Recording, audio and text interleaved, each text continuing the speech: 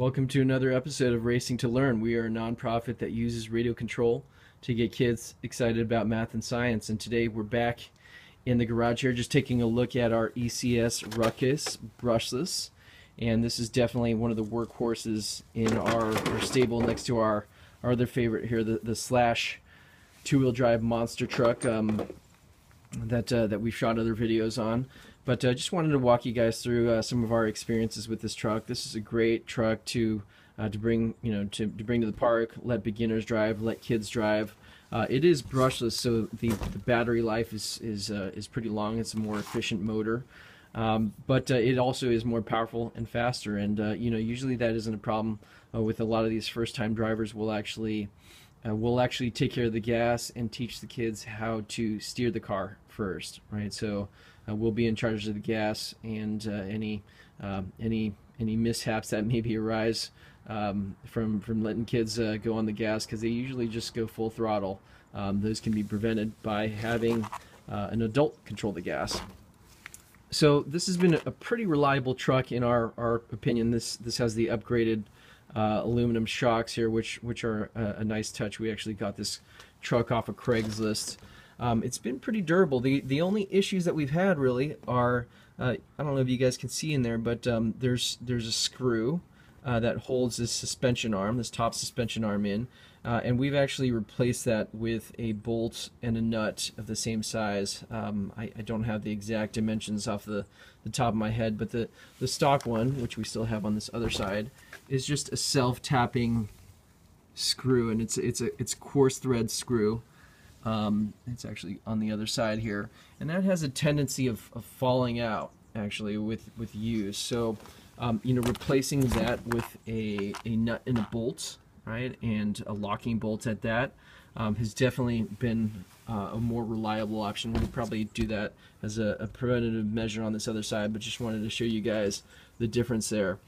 Um, and other than that, you know, another weak spot on these cars is actually the drive shafts, the plastic drive shafts uh, people uh, will actually upgrade or you know modify uh, slash Traxxas slash two-wheel drive drive shafts and put them in here.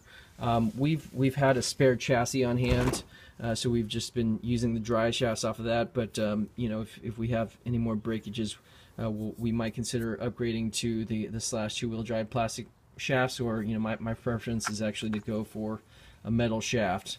Uh, another change that we've done here is actually um, you just put a piece of electrical tape on the end bell of the uh, the brushless motor. Usually it's open, but we run, as you can see, we run through a lot of sand and grit and, and wet grass and whatnot.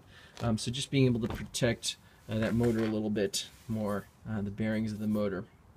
Uh, the the Tazer system in here, the brushless system, it does run a little bit hot, so a little bit hotter than I'd prefer, um, even with pretty conservative gearing. So um, you know, if you're if you're buying this truck, I, would probably recommend going with the brushed version and then upgrading to brushes later. You know, of course, figure out if you if you like the truck first, um, or if you like RC, if you're starting out, if you even like it, you know, save the money off the brushless system, get the brushed system to begin with, and then you can upgrade to uh, a, better system than this Tazer system. It's, it's kind of a mediocre system.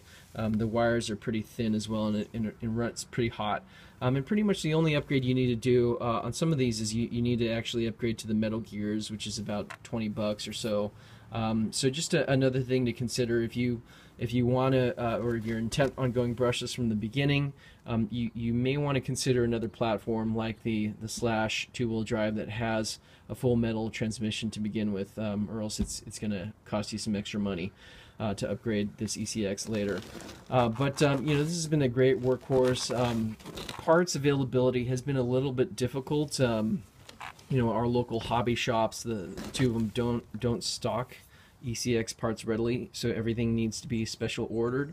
Uh, so that's another consideration as well. You know, check with your local hobby shop if they stock the parts, uh, or else if you break anything, you may be waiting for stuff to be shipped to you or to the hobby shop. Uh, but anyways, this is just our, our long-term review. We've we've had this truck for probably over a year now. I forgot the exact dates, but um, it's definitely been durable. Uh, a couple of broken things here, but we drive and we let the kids drive this truck pretty hard. Uh, so once again, thanks for watching Racing to Learn. Follow us on Facebook, like us, um, and subscribe to us on YouTube. And uh, of course, we always enjoy your comments. Thank you.